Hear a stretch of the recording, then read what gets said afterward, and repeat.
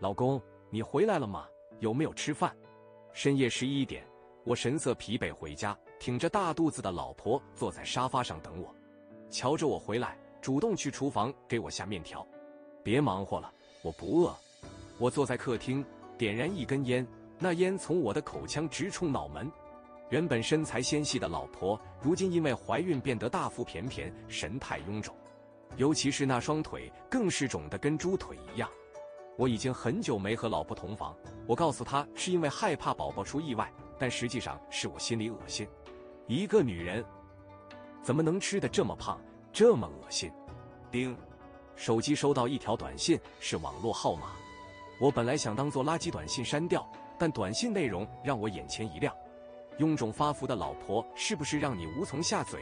点开链接，让你拥有帝王般的待遇。这种一看就是诈骗的链接，要是以前我肯定直接删除，但今天鬼使神差的我竟然点进去了。刚一点进去，就看到一个袒胸露乳、神色绯红的少女，正嘟着嘴唇，眼神迷离的瞧着我，给我瞧的老二一下顶了起来，真够劲。没过几分钟，老婆从厨房端了碗面条出来，我草草吃了几口，也懒得敷衍她，说自己去拉屎，钻进了厕所。那个链接就跟小猫抓的一样，挠得人人心里发慌。我犹豫好久，又一次点进去，这次直接给我蹦到聊天对话框，对方发来一条语音，是个女人，娇吟着对我说：“大哥，你寂寞吗？”我似乎网恋了。自从和链接聊上之后，我整天浑浑噩噩，神不守舍。对方是个二十岁的妹子，叫娜娜，说是在西双版纳被人骗去做这行，我往链接充了两万多。我们开视频的时候，他一面抚摸自己的酮体，一面用嘴型对我说：“救我！”我看得血脉喷张。后来娜娜和我说，他们老大让她继续骗我钱，娜娜不忍心，被老大揍了一顿。此时的娜娜娇俏的面庞上全是青紫，她隔着电脑屏幕，将小手紧紧跟我贴在一起。老公，只要二十万，你就能带我回家，我不会破坏你的家庭，我只想逃离这个地方。老公，你来救我！说着，对面啪嗒断了线，我再拨过去就没人接了。那一瞬间，我好像回到了二十多岁愣头青的时候。那可是一个无依无靠的女孩子，只要二十万就能无怨无悔跟我回来，甚至主动提出不破坏我的家庭。说老实话，我动心了。像我这样的中年男人，有几个不渴望家里红旗不倒，外面彩旗飘飘呢？再说了，只有二十万，又不多。我就是去一趟，又能怎么样？我骗老婆说和同事去西双版纳旅游，老婆没多说。给我收拾行李的时候，老婆似乎有些不开心，嘟嘟囔囔道：“我都快到预产期了，你不去不行吗？你瞧瞧，真不懂事。我都说了我是公干，竟然还不让我去，和娜娜一点都不能比。要是娜娜，估计现在都软和和的躺在我怀里，冲我撒娇了。越想越火大。”你老实在家待着不就完了？男人的事你少管，败家玩意！我一脚将他整理好的行李踢散，自顾自地跑到厕所，打开手机，不断呼叫娜娜。可惜的是，对方始终先是无人接听，不能再等了。第二天，我坐了最早一班飞机，落地西双版纳的时候已经是夜里十点。但其实这个时候我大脑空洞洞的，我既不知道娜娜到底在西双版纳那个地方。也不知道娜娜到底是不是真的骗我，我就是忽然想见她，疯了一样想解救她。我相信娜娜不是骗我。我尝试性的向链接发送信息：“娜娜，我到西双版纳了，你在哪里？”本以为对方不会回信息，没想到对方立刻回了信息：“老公，你来了，好爱你，我找人去接你。”那一刻我欣喜若狂，如果不是大庭广众之下，我可能都要忍不住蹦跶起来。但这一环扣一环，我却忽视了一件事：娜娜不是被扣下来了吗？那给我回信息的人是谁？很快我就知道了，两个男人前往约定地址接我，因为我订了一家偏远的酒店，男人几乎是半拖着将我架到车上。此时我心里有些忐忑，这和我想象的不太一样。我吵着要下车，其中一个男人用手死死捏住我的手腕，车外灯火通明，我在车里疯狂大喊。放我下车！放我下车！要不然我就跳车了。一个男人开着车，另一个男人沉默不语。车趴停了，在等红灯。此时，同行的一辆车似乎听到我的叫嚷，他主动打开车窗，向我示意：“哥们，需要我报警吗？”报警，立刻报警！我，我报警两个字还没说出来，就听到身后的黑衣人压在我背上，低声说：“你难道不想知道娜娜在哪里吗？娜娜现在可是一心一意盼着你去救她呢。”娜娜两个字就像一柄重锤打得我毫无还手之力，我只能咬着牙向对面的车摇摇头。不管是狼窝还是地狱，这一趟我必须要去，反正都是在国内，就算真有什么问题，我想跑也不难。当时我心里真是这样想的。国内是法治社会，能出什么问题？但后来我再想起这个想法，只觉得自己蠢得可笑。黑衣人看到我拒绝后，立刻将车窗摇上去，脚踩油门一下踩到底。这辆破破旧旧的面包车竟然一骑绝尘，远远跑开。身边的黑衣人递给我两瓶水，一瓶饮料，一瓶矿泉水。我用手拧了一下，饮料瓶口是开的，而矿泉水瓶口是紧的。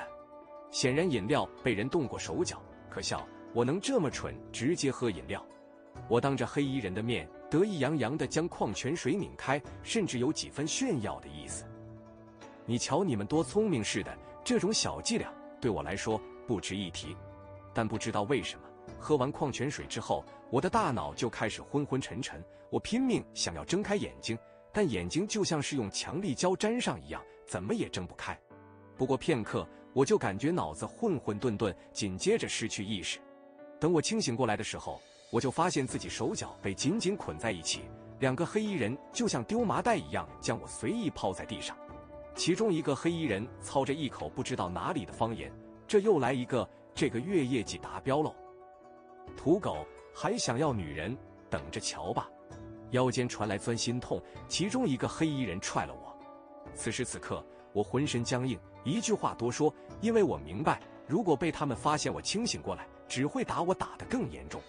很快，我被他们扛在肩膀，先是一路先跑，又换成摩托车，还爬了好一会山。终于在天微微亮的时候，我被他们像死狗一样扔在地上。其中一个男人一脚踩着我手背上，蠢货，赶紧给我睁开眼！我知道你早就醒了，别特么撞了。他踩着我的手背，使劲往下碾。都说十指连心，我到现在才知道手指被人碾压是怎样的疼痛。因为双手被捆住，疼痛让我像快要煮熟的虾子一样卷曲着。你们眼里还有没有法律？赶紧把我放了，否则我家里人发现我不见，肯定会报警的。哈哈，这个狗杂种还想着报警呢，傻逼！其中一个人蹲下来，用手揪着我的头发，啪啪啪，就是几个大耳光。在这里，我们老大就是王法，你在国内那套不实用了。国内？这不是国内，你们把我偷渡到那里了。我疯狂的想要站起身，换来的只能是有一顿暴打。等把我打得站也站不起来，其中一个大汉拖着脚将我拉到一个巨大的仓库中，正中央坐着一个斯斯文文的男人，四十岁左右，看起来很有文化的样子。而他身边跪坐着一个女人，如海藻般泼墨的秀发，紧身亮片连衣裙，因为是低垂着身体，我甚至能看到她胸前的沟壑。我和她网恋许久。化成灰，我都能认出来，她是娜娜。娜娜，这是什么地方？你们把我弄到那里了？因为看到娜娜，我像一只蛆虫，不断在地上扭曲。娜娜甚至没给我一个眼神，倒是那个坐在老板椅上的男人温和朝我笑着。他十指交合扣在一起，半弯着腰，明明看起来如此和蔼，却莫名的让我觉得汗毛耸立。因为我从他的眼神里看到的淡漠。就好像躺在地上的我，不是一条鲜活的人命，而是一只随手可以碾死的蚂蚁。现在给你两条路：第一，让你家人给我三十万，我放你回国；第二，跟着我发财，我带你走向人生巅峰。你不就是想要女人吗？在这里，女人是最不值钱的玩意，随便一点好处就能上。你要不要？他嘴角温柔的裂开，却一把抓住娜娜的头发，将她摔在地上。听说你们这个月业绩完成了，这个女人赏给你们了，记住别玩废了。我们这位朋友可能会舍不得。身后的马仔听到这句话，眼神蹭一下亮起火花，连拖带拽将娜娜拉到一边。四五个人轮番上阵，在这空荡荡的仓库里显得尤为醒目。我被人用脚死死踩着脑袋，就这么眼睁睁看着娜娜被人凌辱，却无计可施。娜娜，娜娜，你们这群畜生，畜生！当人只能物理咆哮的时候，恨意就会从他胸口蔓延到全身。我要杀了你们，畜生！放开娜娜！坐在老板椅的男人，瞧我这副模样，似乎是看到什么好玩的东西，踱步向我走来。你以为你是怎么到这个地方来的？是娜娜专门把你骗来的，也不怕告诉你，现在你在妙瓦地，在这个地方最不值钱的就是道德。他手腕上套着一串佛珠，表面油润光滑，一看就是常被人抚摸。可就是这样一串代表佛性善意的东西，如今却被这个畜生当成玩意把玩。我脑海里忽然想起最近网上非常流行的一句话：他到底拜的是佛祖，还是自己的欲望？伴随着喘息声的结束，那群马仔纷纷提上裤子，站在男人身后。此时我才知道，这个男人叫豪哥，里面的人都喊他老大。给你二十万，你是不是真的会放我走？豪哥耸耸肩，朝我笑笑，没说话。此时此刻，虽然我心里明明知道，即使我给了二十万，他也不一定会放我走，但人总是会这样，总不想放过任何一点机会。我从兜里掏出手机，几乎是颤抖着拨打老婆的电话。电话瞬间被接通，老婆着急的声音从对面传过来：“老公，你怎么从昨晚开始就不接电话？你怎么了？”事情有点复杂，我现在被人控制在妙瓦地，需要四十万才能赎身。你赶紧给他们打钱。四十万？你在妙瓦地？你不是去西双版纳了吗？你，臭娘们，这么多废话干什么？家里那一分钱不是老子挣的，赶紧给我打过来，别逼我回家扇你。从昨天到现在，长时间的压抑和恐惧，终于在听到老婆的声音后彻底爆发。电话那边诡异沉默片刻，过了半响。老婆才恍恍惚惚的开口：“老公，四十万不是个小数目，你等我筹一下钱，我就给你打过去。”他刚说完这话，我就啪一下挂了电话。有了老婆的保证，我心里忽然有了底，从坐起来，企图让自己光鲜一些。四十万，二十万属我，二十万属他。我看向娜娜的方向，此时她浑身光着，表情麻木，就像一只没有灵魂的木偶，看得人心里发慌。自始至终，我都想相信娜娜对我是有感情的，骗我来只是迫于无奈。豪哥听我这么说，静默两秒，忽而鼓起掌来，似乎看到了全天下最可笑的笑话。好好好，果然是情深意切。那我们就看看这个钱什么时候到账。我老婆把我当成命一样存在，她肯定不会不管我。家里流动现金三十万，她只要快速套现一波首饰，就能凑够四十万。我很快就能回去了。当时的我天真的以为真的是这样，但事实是，二十四小时过去了，豪哥依旧没有收到一分钱。坐在他身边的娜娜始终保持跪坐的姿态，似乎一点也不会累。你老婆好像没有打钱，你说怎么办？不可能，不可能！我疯狂的给老婆打电话，对方始终无法接听。终于在打了第十个电话后，老婆才接了电话。我问他有没有打钱，他惊恐地表示已经打了过来，是不是对方在骗我？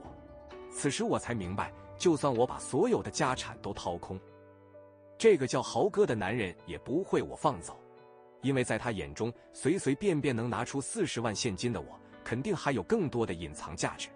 骗人！你们骗人！你们这群畜生，拿了钱不办事，死后就得下地狱！骗子！我疯狂朝他们怒吼，恐惧和绝望快要把我淹没。这段时间以来，网上铺天盖地全是妙瓦地电信诈骗、虐待国人的消息。我比谁都知道，这个地方来的容易，出去几乎难于登天。豪哥见我崩溃，就像逗弄老鼠的猫，笑得声音几乎要把仓库冲破。去，带他看看什么才是真正的地狱。在这群人的带领下，我第一次实打实的看到地狱。普通人所能想到的酷刑，无非就是殴打、肆虐。但是在这里，他们最擅长的不是单纯的肉体虐待，而是先肉体击垮你的意志，再一步一步摧毁你的精神和信仰，最后变成这群人手中最终式的狗。我在这些人的压迫下吃下加了粪便的热狗，当时我已经被饿了三天三夜，眼睛都开始冒金光。人天生就有求生意识，别说是粪便，土我都想挖来吃。我的脖子被人套上狗项圈。一个人用脚踩着我的头，将沾满粪便的热狗从我头顶扔下来。乖乖，小狗狗赶紧吃，吃了带你出去溜溜弯。在我周围还有好几个和我一样的男人，他们有的表情麻木，有的不断干呕，还有的甚至真把自己当成一条狗，撅起屁股不断的摆动身体。我只觉得浑身发麻，忍住想要呕吐的感觉，闭上眼睛将热狗麻木塞进嘴里。吃，只有活下去才有逃跑的机会。我不能死在这里，我家里还有老婆孩子，娜娜还等着我去解救。我被这些人当成狗崽子戏弄。他们牵着我的脖圈在院子里逗弄，一旦不配合，就用电棍袭击，甚至还会用滚烫的开水将我的手指一根一根放进去。你要记住自己的身份，你不是人，你只是豪哥手下的一条狗。狗讨主人欢心就能有饭吃，否则就只有送去狗肉汤馆扒皮吃肉。这话在我耳边嗖一声传过，吓得我一哆嗦。为了活下去，我只能将自己当成一条狗。只要活下去，一切就还有希望。或许是我表现得还不错，他们开始培训我，教我如何给亲朋好友借钱，如何在网上诓骗小姑娘。此时教导我的教官态度非常和蔼：“你想吃一顿正常的饭菜吗？今天骗来五万块，就能让你吃饱喝足，还能让娜娜陪你一晚。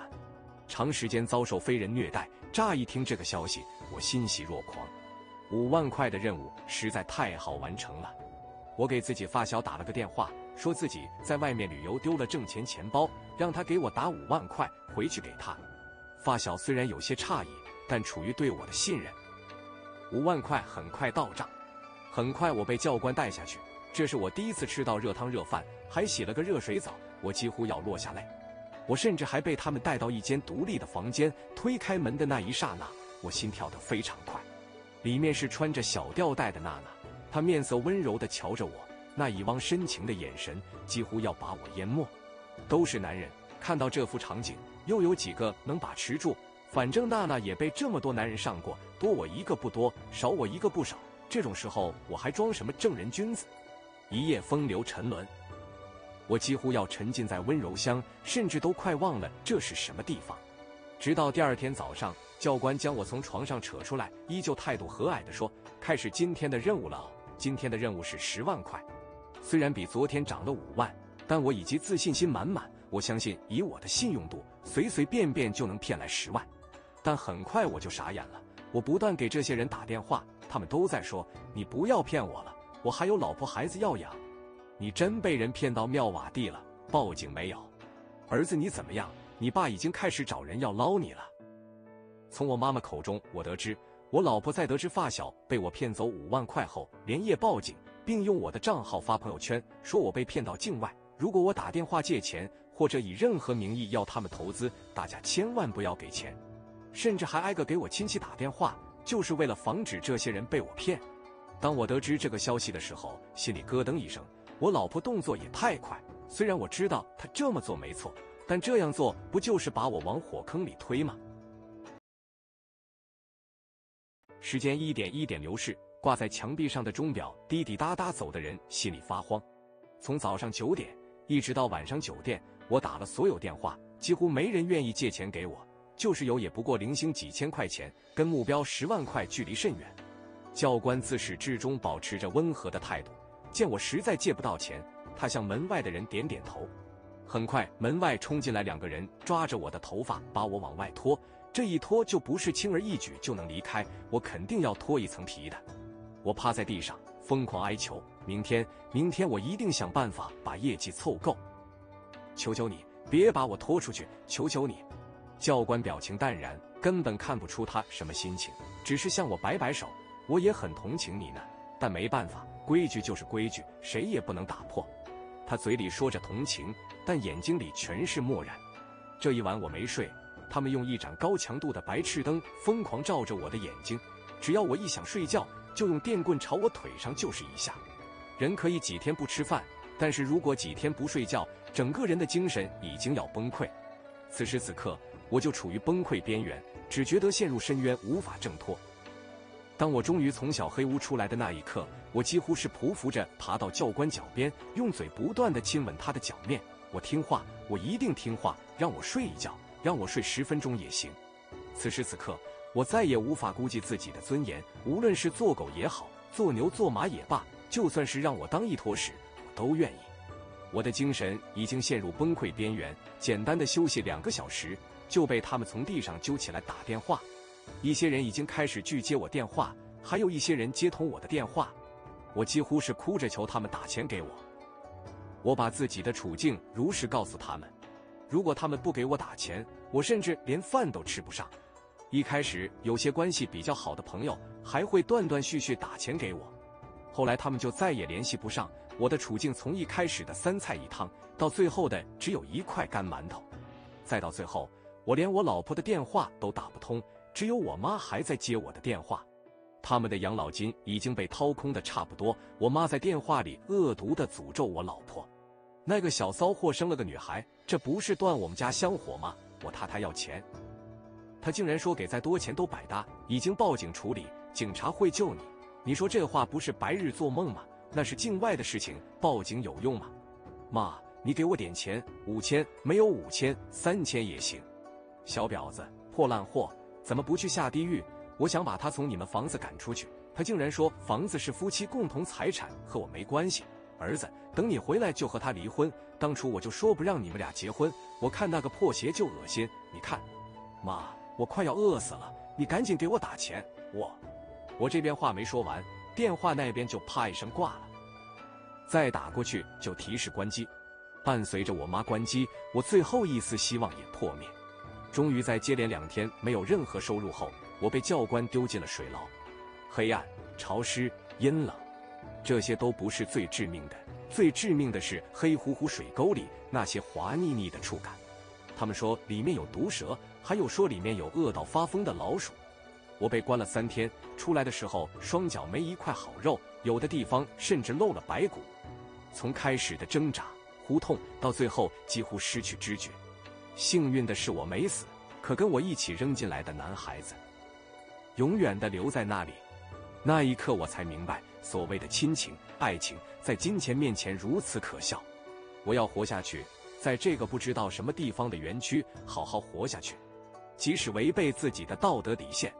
从水牢出来之后，我被丢进培训班，这里都是从亲朋好友那里骗不到钱的人，他们被集中在一起培训如何进行电信诈骗，有专门进行恋情诈骗，把他伪装成富二代，专门在网上骗大龄剩女。或者女大学生，以真爱的名义，他们过来结婚、投资，就像当初娜娜对我一样。还有一种游戏诈骗，把自己伪装成游戏大佬，专门吸引游戏里面的玩家充钱消费。还有网络赌博，那些一事无成、想着一夜暴富的社会青年是主要群体，先让他们赢点小的，然后印有他们向父母借钱、贷款，到最后一口吃光。无数家庭被他们骗得倾家荡产。我不断听到有人因为网络赌博连楼房都卖了，最后还不起贷款，只能跳楼自杀。说实话，有那么一刻，我是羡慕这些跳楼自杀的人。他们虽然失去了所有家产，但却没有遭受过非人的折磨。像我这样跟一条狗似的活着，死又不敢死，活又不能好好活，这才是最痛苦的事情。最后，我被安插到游戏组，因为我长相油腻，年纪又大。骗小姑娘没啥市场，在游戏里还能和别人吹吹牛，只要不露脸，什么都好。这是一款带有色情氛围的游戏，玩家想要进一步观看，就必须得往里面充钱。而我就是游戏里满级大佬，只要有新人犹犹豫豫不舍得充钱，我就不断怂恿对方，激怒对方，诱拐他们不断充钱。在这样的手段下，每个月虽然业绩达不到第一，但好歹不在垫底，总归有口饱饭吃。有时候打游戏的时候，我会听到那些看管我们的打对手闲聊，他们是标准的地方口音，男人之间讨论无非就是女人。娜娜被提及的次数并不多，但每次提起来都说这个女人了不得，又骗了多少多少男人过来。我每次听到这里就恨得牙痒痒。如果不是她，我现在正在家里守着我闺女，何至于在这里做这些事情？就在我以为自己一辈子都走不出这个园区的时候，机会来了。深夜，所有人都睡得格外沉，娜娜就像一只小老鼠，忽然钻进我的被窝。她用手指挠了挠我的胸口，然后快速捂住我的嘴。你想不想逃？漆黑夜色中，我无声的点了点头。明天晚上，你想办法到厕所尽头的走廊里去，我找到人接应我们。凌晨两点，我只等你十分钟，你不来，我立刻就走。为什么？这种事明明自己走最好，他为什么要带我走？你是第一个找人要钱赎我的人，你要是不嫌弃我，回国之后我真心和你过日子。说完这句话，他就猫着腰，又一次从夜色中溜走。我的手抚摸着刚才娜娜用手指划过的地方，有些发烫。彻夜未眠，第二天玩游戏的时候都有些心不在焉。很快到了晚上应约的时间，我信步走到走廊里面的卫生间。悠长的走廊没有开灯，只有沉闷的打击声传来。四个人将娜娜压在身下，用钢叉贯穿她的大腿。她整个人躺在血泊上，就像一条快要干死的鱼，身体不断抽搐。我站在四个人后面，看着娜娜那双缀满恨意的眼睛。没错，是我告的密，是我亲自将娜娜要逃跑的事情告诉我的顶头上司。我虽然蠢，但是我有点脑子。这里戒备森严，巡逻是二十四小时的。娜娜一个女孩子，怎么可能突破层层防卫，跑到我房间里跟我说要带我走？要么就是她想要试探我，看我有没有想跑的心；要么九四她已经暴露。如果这个时候我跟他一起走，被钢叉钉在地上的人还有我，明哲保身，我只能把他供出去。再说了，他一个被人千奇百压、妓女一般的玩意，真跟我回了国，我还不得丢死人？干脆把他永远留在这里，将来我就是回去，也能说是投资被人骗，也好过说我是被女人骗去的。娜娜无助的躺在地上，血窟窿噗噗往外出着血。她的眼神从开始的恨意到不甘，再到最后的麻木。她被人拖下去的时候，我不知道他死没死，但我知道他不如此刻就死了。因为如果他没死，等待他是另一场漫无天日的虐待与囚禁。在这个地狱一样的地方，美貌本身就是一种罪恶。因为我的主动投诚，被教官拿到晨会上特意表扬。如果不是他的举报，那那可就真的跑了。因为连我们都没发现巡逻其实是有漏洞的，差一点，差一点他就跑了。教官站在我跟前，拍了拍我的肩膀。听到他的话，我整个人如遭雷击，表情僵硬。娜娜，娜娜竟然没有暴露。如果昨天我跟他一起走，是不是现在我就已经跑出去了？我的耳朵嗡嗡作响，教官后来说的什么我都没听清。我只看到面前这些所谓的同事，他们都在面无表情的鼓掌，赞扬我举报的美德，甚至羡慕我晚上夹的鸡腿。这是我从到这里以来第一次觉得鸡腿味同嚼蜡，是我亲手葬送了一次绝佳的逃跑机会。那根不知道放了多长时间的鸡腿被我狠狠咬碎，连骨带肉吞进肚子里。我绝不能妥协，我一定要回去，因为我的举报，他们对我的看管似乎松了一些。竟然还主动给我手机，让我和家人报平安。当时我还觉得是不是因为我的投诚让他们信任我，后来我才知道是因为国内警方的压力，让这些敌方头目感觉到压力，让活着的人主动打电话回家报平安。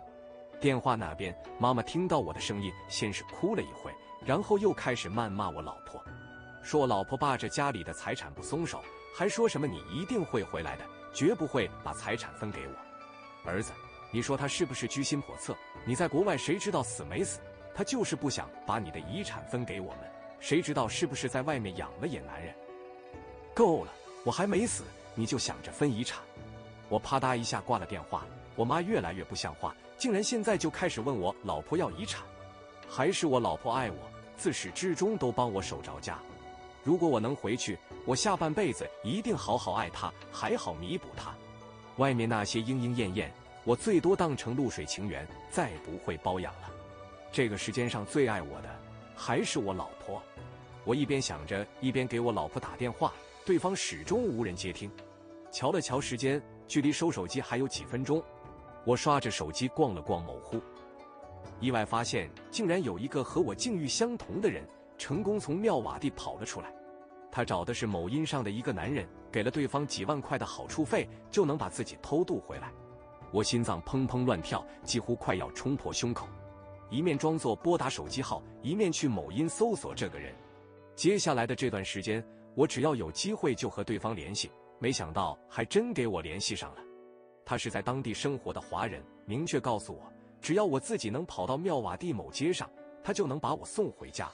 看到这条消息，我忽然心里有了底。如今我们是在一个园区，我生活在三楼，从来没下去过，只有一个通风窗户，跳下去要么死要么伤。在犹豫了整整两天后，趁着打手交班、互相吹牛的时候，我从三楼一跃而下。落地的那一刹那，我明白我的右腿断了，但这是我好不容易争取到的逃生机会。我咬着牙，疼痛让我浑身开始冒汗，匍匐着爬进一辆面包车的后备箱。我不断祈祷上天。让这辆面包车赶紧离开。如果到明早还不走，一切就都晚了。不知道是不是我的诚意感动了上苍，面包车真的启动了。它一路疾行，车外传来轰鸣声，还有鸣笛的声音。不知道为什么，听到马路上的鸣笛声，我竟然有一些安心。在这样晃晃悠悠的旅程中，我昏睡过去。等我醒过来，就可能到本地司机正满脸惊恐地瞧着我。他说着一口我听不懂的话，但我能看明白他的意思。这意思是你怎么在这？他飞速将我从后备箱扯下来，然后丢到一边的垃圾桶，并示意我不要出声。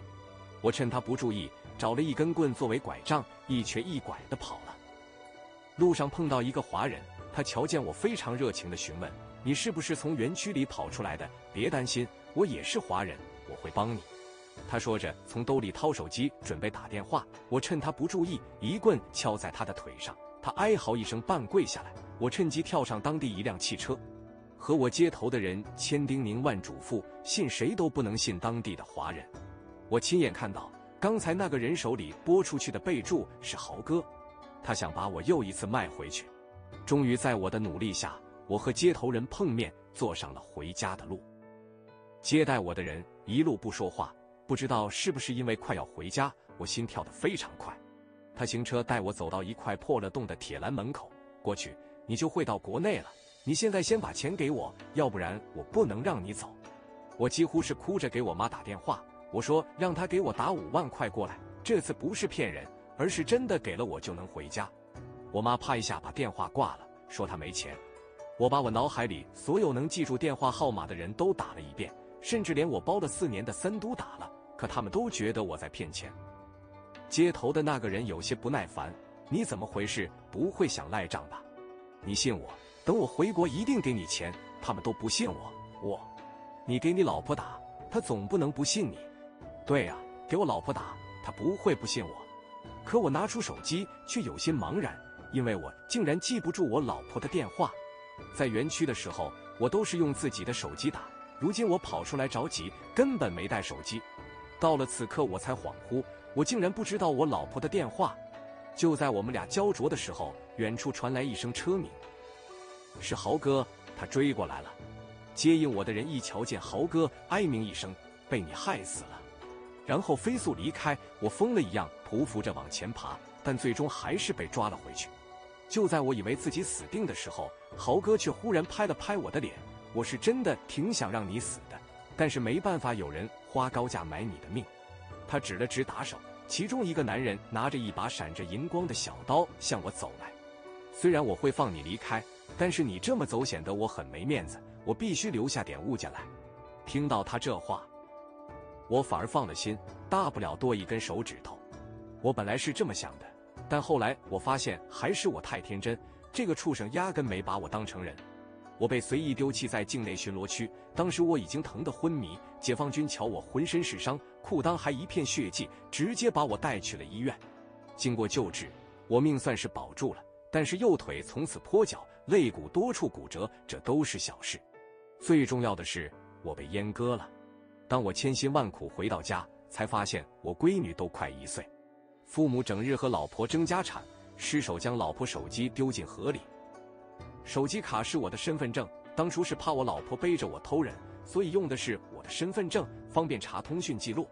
可最后因为没有本人去，没办法补，这才导致我一直打不通老婆手机。